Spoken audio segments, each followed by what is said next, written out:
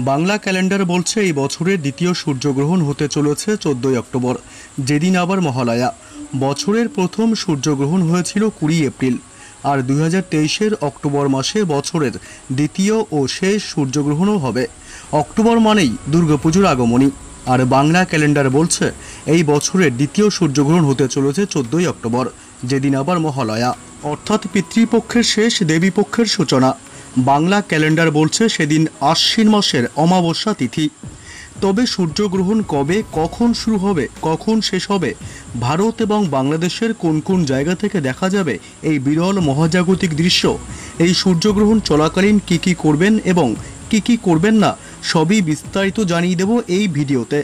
বিস্তারিত জানতে ভিডিওটি অবশ্যই শেষ পর্যন্ত দেখবেন এবং পরবর্তী নতুন খবরগুলির আপডেট পেতে আমাদের ইউটিউব চ্যানেলটি সাবস্ক্রাইব করে আমাদের সঙ্গে থাকবেন। দু হাজার তেইশ সালের প্রথম সূর্যগ্রহণের তুলনায় বছরের দ্বিতীয় সূর্যগ্রহণ নিয়ে ইতিমধ্যেই সাড়া পড়ে গিয়েছে জনসাধারণের মধ্যে। কারণ এবারের সূর্যগ্রহণ খুবই বিশেষ হতে চলেছে। কারণ এই সূর্যগ্রহণকে বলায়াকার সূর্যগ্রহণ বলা হচ্ছে। সাধারণত বলায়াকর সূর্যগ্রহণে চাঁদ সূর্যকে সম্পূর্ণরূপে আবৃত্ত করতে পারে না।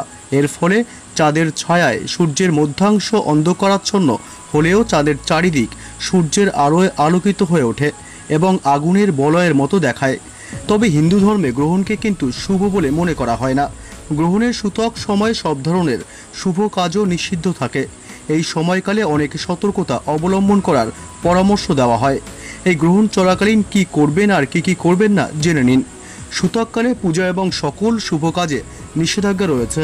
এ সময় মন্দিরের দরজাও বন্ধ থাকে এবং ভগবানকে দেখা নিষিদ্ধ। বাড়ির মন্দিরের দরজাও বন্ধ থাকে। এছাড়াও সুতক সময়কালে কিছু খাওয়া বা পান করা নিষিদ্ধ। রান্না করা খাবারে তুলসী পাতা রাখা হয় এ সময়। তবে এই বছরের দ্বিতীয় সূর্যগ্রহণ দেখা যাবে পশ্চিম আফ্রিকা, উত্তর আমেরিকা, দক্ষিণ আমেরিকা, আটলান্টিক মহাদেশ থেকে। তবে এদেশ থেকে, অর্থাৎ বাংলাদেশ এবং ভারত থেকে এই গ্রহণ দেখা যাবে না। বিশ্বাস করা হয় গ্রহণের সময় মাথাচাড়া দেয় নানা নেতিবাচক শক্তি। এর ফলে সময়টিকে অশুভ বলা হয়। জ্যোতিষশাস্ত্র বলছে সূর্যগ্রহণ শুরু হওয়ার কয়েক ঘণ্টা আগে সূতক সময় শুরু হয়। এই সময়টা রান্না বা খাওয়া কোনোটাই করা উচিত নয়। কারণ এই সময়ে নিঃসৃত জেগে ওঠা নেতিবাচক শক্তি খাদ্য এবং পানীয়কে অশুদ্ধ করে দেয়। যদিও এই ভাবনার বৈজ্ঞানিক ব্যাখ্যা পাওয়া যায় না।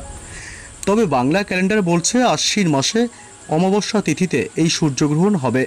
পঞ্জিকা বলছে এদিন অর্থাৎ চোদ্দ তারিখ রাত আটটা বেজে চৌত্রিশ মিনিটে এই গ্রহণ শুরু হবে এবং চলবে মাঝরাত পার করে।